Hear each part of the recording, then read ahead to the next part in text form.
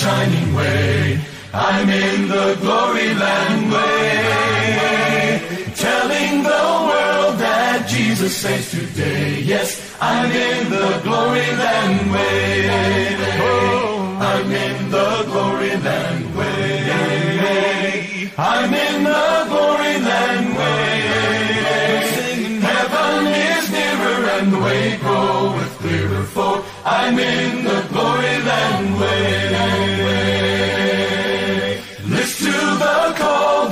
Gospel call today. Get in the glory. Wonders come home, oh, hasten to obey, I'm in the glory. Good evening, listeners. Welcome to your regular radio program, Let the Bible Speak. The program is sponsored by Church of Christ meeting at number 5 Owerri Street, High Level Makurdi. Shall we pray? Father and our God, in your hands, O God, we entrust our life. We thank you immensely for the grace. Thank you immensely for your love and kindness. Thank you for all the provisions and protections we have enjoyed of your hands. Father, this night as we study your word, we still want to give you all the honor and glory. Father, we have no power, no wisdom of our own. We ask that directives.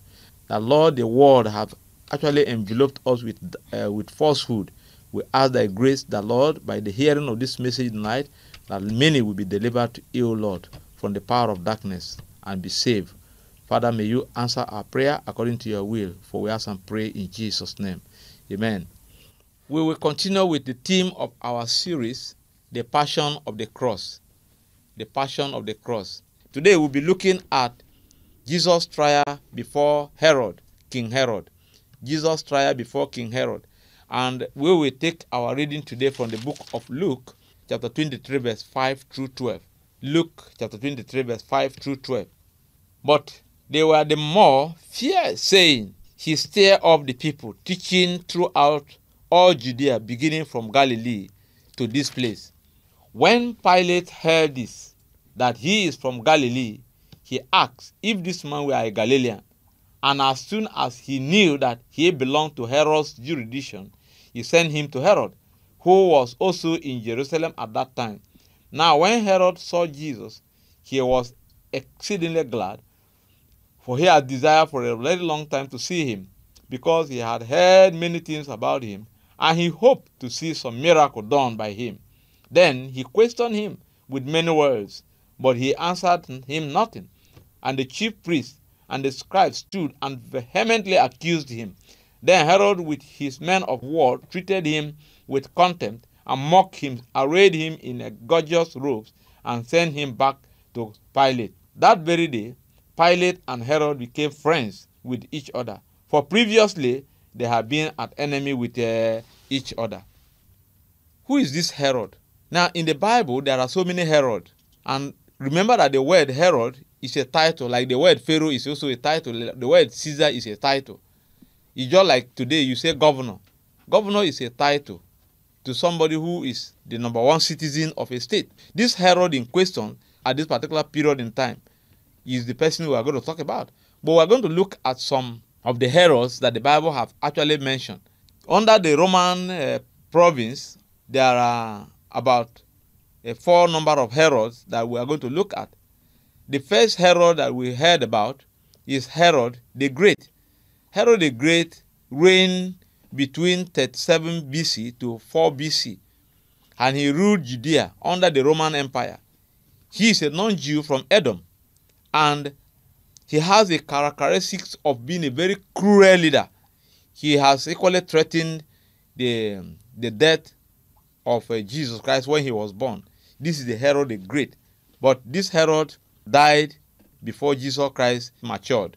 If you read the book of Matthew chapter 2 verse 16 through 17, we all know that when Jesus Christ was to be killed by this Herod at his tender age, the emperor flew with him to Egypt. So that particular Herod died around 4 BC. Now, we have another Herod, Herod Archelaus. Herod Archelaus started his own reign from 3 BC to 18 AD. And uh, this particular Herod was in charge of Judea and Samaria and Idumea. He was the son of Herod the Great and he was disposed in AD 6.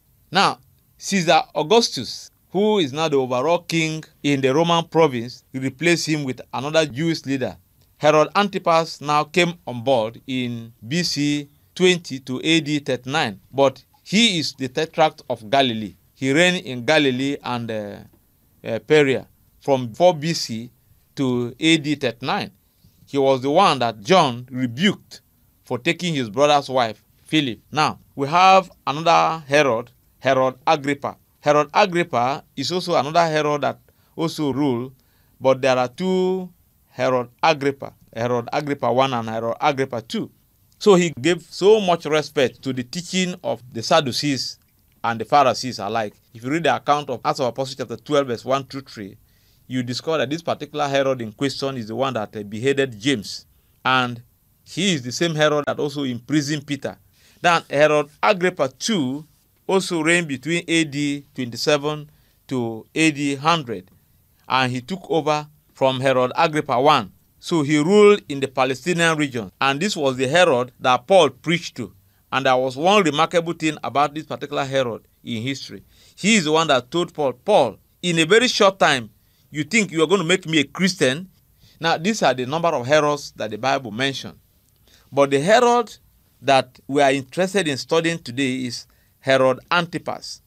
This is the Herod that lived within the time that Jesus Christ was tried when he was arrested by the Jews and taken to Pilate. This particular Herod lived for a period of 59 years.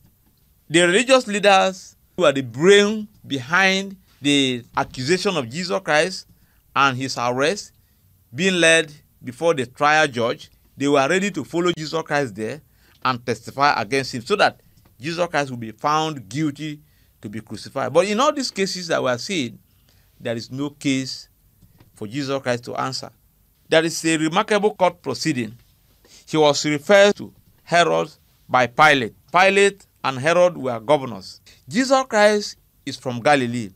Herod Antipas is ruling around Galilee region, while Pilate is ruling in Jerusalem region. They are not the same uh, region within that country of the Israelites. Now that Pilate had been trying this man here in Jerusalem, and then he discovered that in the course of allegation that were brought against Jesus Christ, a reference was made to what? That Jesus Christ started his ministry from Galilee. There is a governor in Galilee now. Let him also hear this case with me. I should not be the only one that will now decide this man's case. That was why he made a reference that Jesus Christ should go and be, be, be taken to Herod Antipas for him to try him before he will take uh, now establish his verdict. Now that the incident that they have brought against Jesus Christ for now is now de- being dealt with in Jerusalem because Jesus Christ had come down to Jerusalem for the Passover feast, and it was within that period that now he has been arrested. So Pilate wisely now said, "Let Jesus Christ be taken to where to Galilee, where Herod Antipas is ruling, so that he can also lay the voice to the case of Jesus Christ before a final verdict can also be what established. Also, we're going to see what is the judgment of this man too. Note that a crime of any kind is first tried by a lower court before it's referred to what to the upper court, and the judgment of each court has a reference point. It's either the upper court will decide to uphold judgment of the lower court or set it aside and establish a new judgment. So we are going to see how these two jurisdictions or court is going to play around in the case of Jesus' trial. Now look at Luke chapter 23, verse 7 through 15. If somebody commit a crime on the street, it is expected that people who have witnessed to the incident that occurred should take the person to the law enforcement agencies wherewith the person will be given opportunity to say a word before a verdict should be established. This is what the Jews were trying to play corner corner. But why would they not allow the trial judge to be able to establish the basic truth on the cases that they have accused Jesus Christ? These are the reasons why we say there are a lot of age justice that play around in the death of our Lord Jesus Christ. Now, sometimes a nation may not know how to corrupt a system. But when the people, the various group of people in the system, like the religious leader, the cultural leaders, are giving the government an opportunity, it will be possible for, for a government system to corrupt a society. Now, the government did not sit down and plan anything against the religion. But now the religious people are now bringing issues. Now, you can also understand that Christianity also is having problem in, within the government region today because ordinarily the Roman government do not have anything against the practice of religion of Christianity. Not until the Jews themselves were accusing those who practice Christianity against what they practice. Jesus Christ was not determined to be killed by the Roman Empire just like that. But the Jewish people were the one that accused Jesus Christ. And you can see that the church is also suffering today because of many of the things that some dubious religious leaders have been accusing some of their religious men before the government that have been bringing the church into conflict of court matter. We are the enemy of ourselves, even as we try to play our Christian life today. Jesus is considered as an indigene from Galilee, and so his case will now be tried in Galilee. Let us look at verse 6. When Pilate heard of Galilee, he asked if the man were a Galilean. See, this is the question. Because if he has been born and brought up in that region, why not? Then his case must be tried there by the person who has the power or jurisdiction over that particular region. Therefore, that was why Pilate referred Jesus Christ's case to what? To the foot of Herod, Herod Antipas, so that he can try Jesus as well. Herod was so happy that Jesus Christ was sent to him, and there are two fundamental reasons why he was happy. Now, he longed to see Jesus Christ perform some miracles, so that by the time Jesus Christ now have come to his presence, he is trying to see whether Jesus Christ will actually perform some miracle. Then, when he sees the miracle performed by Jesus Christ, he will be so happy. The second reason why he's so happy is that there were some rancors between him and Pilate. There was some misunderstanding between him and Pilate. And so now that Pilate had a case in his table, and he remembered that there is one particular person that also is important to hear the case. So, having done that, he felt that that can be now an established point with which they can now reconcile and have a, a very good uh, relationship together. Now, Herod now asks Jesus Christ so many questions. But those questions were not actually specified. And the reason he was asking those questions is to provoke Jesus Christ to perform miracle. But Jesus Christ will not give him any miracle. Why? Even the devil himself wanted Jesus Christ to perform some miracle. Jesus Christ refused to do that. Jesus Christ was tempted by the devil.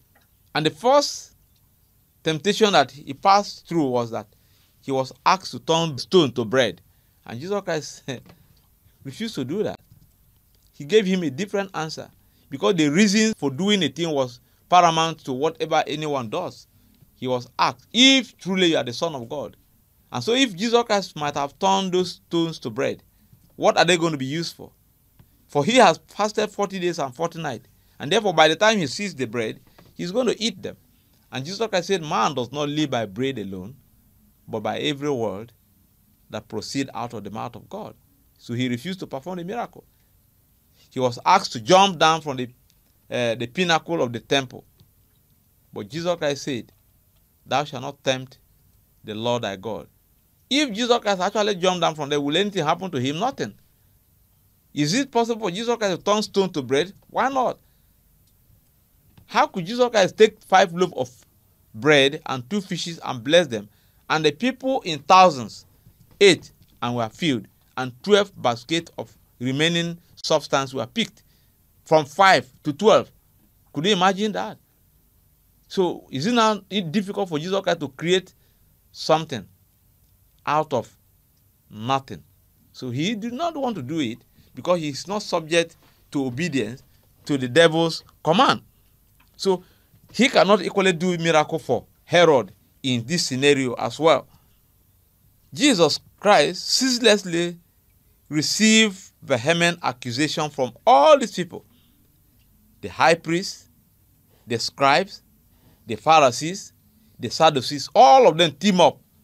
There is something that you need to understand in the religious realm of the Jews. The Sadducees, the Zealots, and the Pharisees have some level of disagreement that they cannot come together. They form a set within the same religion. the Pharisees have different belief system on the resurrection, and the Sadducees have different belief on resurrection. The Sadducees said when somebody died, he can resurrect. But the Pharisees say when somebody dies, there is no res- res- resurrection again. You die, you die, it, it ends there. The Sadducees believe and respect the Roman government as their leader, but the Pharisees will never believe that. So there is this dividing line among this religious set. But when it comes to accusing Jesus Christ so that he can die, each each and every one of them have something against Jesus Christ. So now those people that, that were in disagreement before now have come to team up so that they can accuse Jesus Christ to be killed. Let us look at Luke chapter 23, verse 10. In that passage, the Bible said, And the chief priest and the scribes stood and vehemently accused him. You see, why did they bring their names together? It's because this time around there is something they don't like, and they now both would now agree to now allow Jesus Christ to die. Jesus Christ was treated with contempt by Herod and his soldiers. They tried to make caricature of him. They brought a robe. A robe, by this passage, is a kingly dress that at least befits somebody that is from a royal background. This was the kind of clothes that they took and then they now wore Jesus Christ. Look at verse 11. Then Herod, with his men of war, treated him with contempt and mocked him with a gorgeous robe and send him back to Pilate. By the time they might have done with Jesus Christ, when they are going to crucify him, they are going to use this robe that they have clothed Jesus Christ with on who is going to own it. They are going to part it and decide who will now own the cloth because it's a costly cloth. But they did not put him put it on him as a respect. They put it on him as a mockery. But then you can see how God can make a rich man to honor a poor man. So, in as much as they are now not accepting Jesus Christ as their king, but they are now addressing him like a king. So, it, in, invariably, they did, not, they did not want to, they, they, they cannot reject that the Jesus Christ is not their king because they have given him the, that honor. When he goes to Pilate again, they are going to further the same mockery by way of wearing him a crown of a king. But they are going to use tongues in this wise. But all of those things play around to say that Jesus Christ is their king. Now, according to Pilate, Herod did not find any fault to condemn Jesus Christ, and the two court vindicated Jesus Christ. But why would the Jews now raise a voice higher than the court? And as we all can be a witness, if the case is passed in the court, no matter the, the sound knowledge of a, of a lawyer who is defending somebody in a case or accusing the other party in a case, if the case go in favor of one um, uh, client in the court or the other, all will echo as the court pleases. So in this case, the court judge has passed the verdict on the case of Jesus Christ that he doesn't do anything that deserves death. Why would the Jews not say as the court pleases? But instead, what did they say? They will be shouting, Crucify him, crucify him. If you don't do this, you are not a friend of Caesar. Now, what can we learn in the trial before Herod Antipas for the death of our Lord Jesus Christ? Now, Jesus Christ said he has come to the earth for the purpose of truth, and people are deviating from the truth. So when somebody have established a vivid truth about himself, why are we not ready to accommodate, to accept, to align with that same truth? Why do we argue around it? This is what happened in the life of Jesus Christ, and it will continue to happen until Christ come back again. Jesus Christ did not bring fun to the earth, but rather the Lord's house so that people can understand how God can be honored in his house. But people will never turn the house of the Lord to be an honorable place because even when Jesus Christ tried to rebuke the religious leader of turning his father's house as a merchandise, the people would not find it funny. It was against their wishes and will, and therefore they have to like do away with this man. so that it doesn't exist again. Now, Jesus Christ is a peacemaker. That's why he comes to the world. To bring peace among men. But are we ready for peace? Consider the level at which people have actually created a lot of chaos, misunderstanding, fighting, differences here and there. There is no place that is peaceful anymore. In the home, in the offices, in the church, in the marketplace, every, everybody is looking at each other with evil eyes. Then what is the pla- where is the place of Jesus Christ in your life? And Jesus Christ has actually been denied of all of that, even when he has not deserved to die. They still make a lot of problems that he should be killed. Jesus has no fault, but received much accusation. So we should expect more in our own time today. You may not have done anything wrong, but people will come up to accuse you of a lot of things so that they can condemn you. Most of the times, we used to influence court judge so that they can de- decide a case in our favor. But are you going to be free from the hands of God? Jesus Christ was declared to be condemned. But was he condemned in the hand of God? No. Likewise, even if the world have condemned you and God did not condemn you, you have a place of rest with God in eternity. For here, there are a lot of controversy that will take away your rightful place of judgment from you. But never mind. Because even the people that have judged you wrongly they will not still live to enjoy the world forever. When the time shall come, God is still going to take their portion away from this earth. So it's momentary.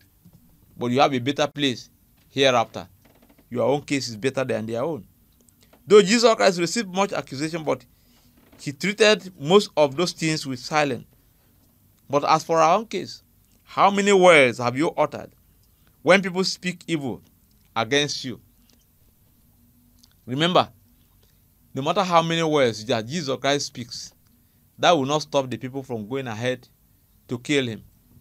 So he, instead of making noise, he reserved his own strength to himself. But for us, we talk so much.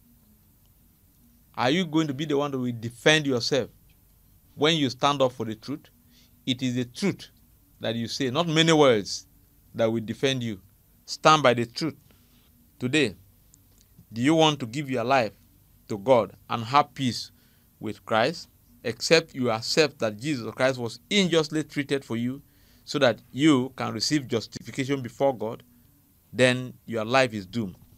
Until you give your life to Jesus Christ, that inside of you, the message of Jesus Christ will rule in your heart to direct your path of, of living. As you will be towing a life that will not be pleasing to God Almighty. We are now inviting you to give your life to Jesus Christ as you have listened to this word. As you hear this word, if you believe that Jesus Christ was crucified for you, was unjustly tried, and delivered to be crucified on your behalf, that you will now accept to be baptized, that your sins will be washed away, and then you can now have peace with God. This is the essence of for which Jesus Christ has come to the earth. And as you do that, the blessings of the Lord will rest upon your life. Today, when you believe and are walking with Jesus Christ, people will ill treat you. People will levy against you so many malicious things.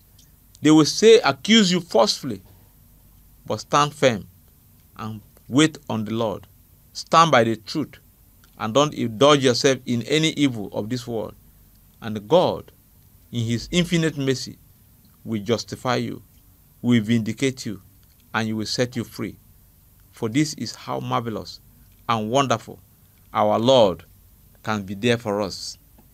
This is the message for us to put in our heart and consumed and feed upon that we will live for our Lord Jesus Christ until He come back again. We will use this time to invite you to meet with us in our worship service Our worship starts by 9 o'clock at Church of Christ, meeting at number 5 Owerri Street, opposite Zenith Bank at high level. As you come, your life will not remain the same. If you are not close to Makurdi and you are outside of any of these local government of Benue State or beyond, you can call and we will direct you to the nearest Church of Christ to you. And there you will find grace to enjoy your life with our Lord Jesus Christ. For we are there for you. Therefore, I will leave the church phone number with you for text messages, for call, and for home Bible studies. 070 14503686. Once again, 070 14503686. My name once again is Icha Innocent, an evangelist. Shall we pray? We thank you, our Lord and our God, for this wonderful opportunity. Father, we cannot do anything of our own except you are with us. We ask your blessing upon your word that have gone out this night. May you, O God, bless each and everyone that have listened to your word and help them, O God, to find grace in your sight. That as we wait on the Lord until his second coming, we will not, O God, wait in vain, but we will wait and enjoy his redemption, with which, O God, he will take the beloved ones to heaven. And as many as have slept in your arms, by the time he shall appear again, that we will all resurrect to life eternal. For you are the Lord, who is worthy to be praised and to be honored forever. For we ask and pray in Jesus' name. Amen. I'm in the way, the bright and shining way.